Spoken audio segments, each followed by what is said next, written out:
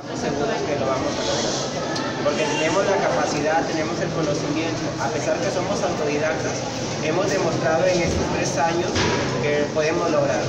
Y entonces la idea de hacer cine, que al comienzo fue algo utópico, al comienzo fue algo imaginario y soñador, se está cumpliendo.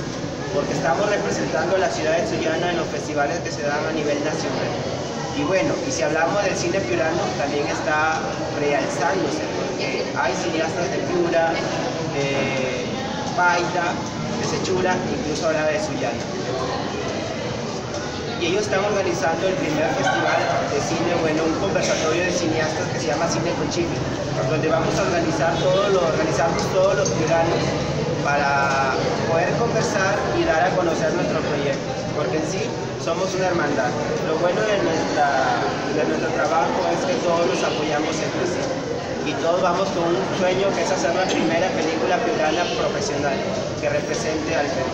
Porque nosotros no hacemos cine provinciano, cine regional, hacemos cine peruano.